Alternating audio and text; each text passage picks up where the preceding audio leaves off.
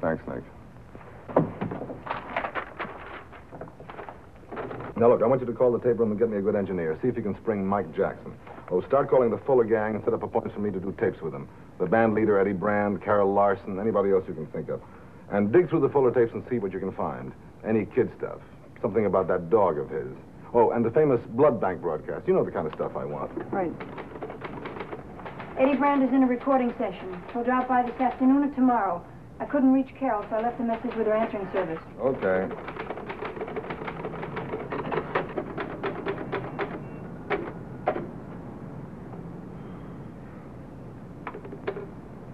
Yes. Jenny, I'm getting a backache from pounding this typewriter. Bring in your pad and I'll dictate the rest. Okay. And so Herb Fuller brought them together. Eddie Brand, the orchestra leader, Carol Larson, the singer, all the people and all the talents that went to make up the Fuller family. And they were a family with all the warmth and strength and togetherness of a family. All the warmth and strength and what? Togetherness. Togetherness. Yeah, togetherness. Uh, may I say something? Sure. Wow. It'll play, Jenny. You know, I still haven't got an idea for a finish. I need something with impact and sock. Well, maybe you could have him declare war, or invent a vaccine, or discover Mother's Day. Did you ever run into Fuller? Once. I was drafted out of the typist pool one day when Smitty was sick. And? You want to see my Purple Heart? The best offer I've had today. What happened? He made a pass at me. A sort of reflex action type pass. I disappeared back into the typist pool while I was still considering it.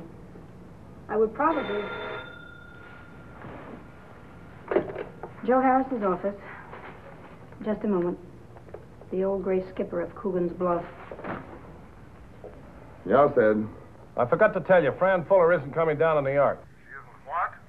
She isn't coming down to New York. Well, now that's just dandy. How am I supposed to do a memorial show without the bereaved widow sobbing her way through a music cue? And how's it going to look if she doesn't come down for the funeral? Don't you worry about that. You worry about the show. I'll take care of the rest of it. Look, since when am I a junior partner? Well, that's exactly what you are, kid. There's going to be a few major changes around here, and you might as well get used to it. Number one, I don't want any more wise guy talk from you, not to me anyway. Number two, start thinking of yourself as a glorified howdy doody out there in front of the audience getting the applause, but just don't forget who's got a hold of the strings. And number three, just remember I can pull that rug out from under your well shod feet any time I want to. Just don't think you can push me around. Don't get that idea for three consecutive seconds. Okay, Sid. Now, you been up to Studio 41 yet? No, Sid, I haven't had a chance. I've been up to my ears. I think you better get up there. Okay, I'll get up there. Hey, get some interviews with the slobs. I understand we're jamming them in. Oh, and I'll have Jaime send a photographer up there. We'll probably get some pictures of you talking to the great unwashed public. Right, Sid. All right, goodbye. Joe, when you take over the Fuller Empire, do I get a raise? I guess so.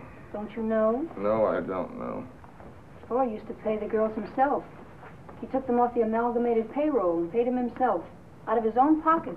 I'll hit Sid Moore for some more money for you first chance I get.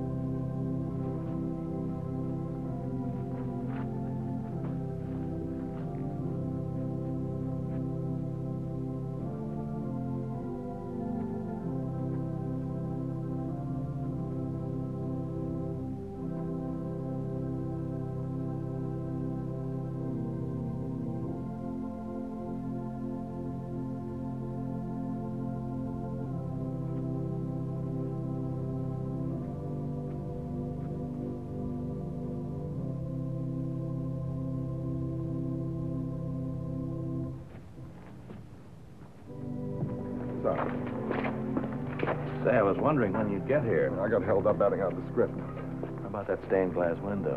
Lovely. We're averaging 250 an hour. If this keeps up, he's going to be the highest rated corpse in this vital American industry. I've uh, got some booze in the office for the newspaper guys if you want a shot. Well, I better knock off those tapes first. I don't think the Crown Prince should reek of booze at the royal wake. Me, I believe in all the ads about chlorophyll. Uh, Joe, you mind if I uh, make a suggestion? oh, go ahead. We'd better trade ties. Oh, okay. Uh, may I ask you your name, please? You have to have my name? Why did you stop No, you don't have to give me your name if my you don't want to. Mrs. Reber. Mrs. Helen Reber. Helen Reber. I live at four. Yes, I don't have to have your Why address. don't I giving you. it? You know, if you now, want it, don't I really don't mind Mrs. at Reber. all. I just want to ask you a few questions. Now, this is a recording machine.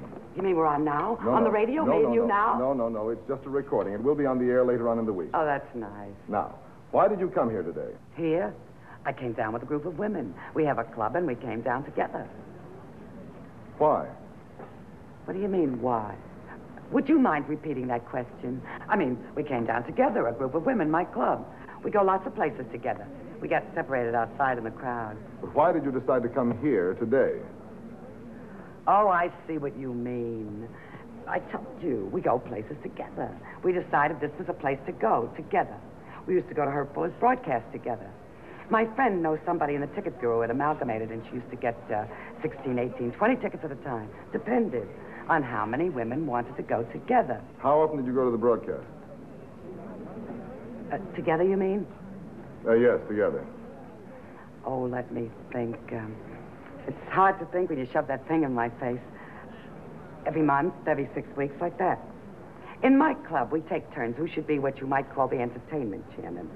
The entertainment chairman is like the person who decides where we should go together. And when my friend, the one who knows the person who was in the ticket bureau, was chairman, she used to get tickets for all of us to go to the Herb Fuller shows. Sometimes uh, 16, 18, 20, like that. Every month, every six weeks, like that. Did you feel that Herb Fuller was your friend? My what? Your friend? No, I never met him. I never met him in my whole life. I told you. This friend of mine got tickets for his birthday. We never met him or anything Thank like you very that. much, Mrs. Reber. Yeah. I'm on the radio. Next week, he says. That was just a recording. Excuse me.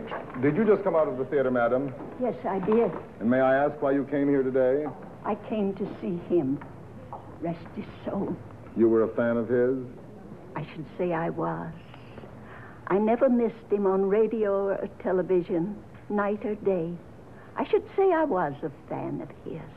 My heart goes out to his poor wife and those dear children of his. Would you say that Herb Fuller was your friend? Friend? A member of the family, you should say. Why? Because he was always there with something cheery or something funny to say when you needed him. If your arthritis was bothering you or you had some other kind of trouble, all you had to do was to turn that dial. And there he was. And before you knew it, you forgot your arthritis or whatever was bothering you. You'll be missed, believe me, by a good many. Thank you very much, Mrs. Elvira Garrigus. Thank you, Mrs. Garrigus. That's a funny looking microphone. Are you broadcasting now? No, just recording. Tape or wire? Tape. So you're pretty bright. We are both in school, tape and wire. How would you two like to go on the air? Sure, sure, we'd like it. Now, what's your name? Mary Browne, with an E on the end. Mount St. Mary's High School. What's the matter with your friend? She's not my friend, she's my sister. She's shy. What's her name? Helen, I see. Now, you were inside, we just came out. and? And what? Oh, you mean what was it like? Well, it was nice. I mean, all those flowers and the music and that man up there talking gave me a kind of spooky feeling. Spooky. Well, You know, like someone was dead. Someone is dead. I know that. Were you fans of Herb Fuller, you and your sister? Not what you'd really call fans, maybe. Not like, for instance, real fans. And we used to see him on the television once in a while. My mother and father thought he was wonderful. I guess you could say they were fans of his. I mean, he was okay, but we weren't what you could call fans of his. Not like, for instance, like you'd be a fan for a singer like Eddie Fisher, Frank Sinatra, somebody like that.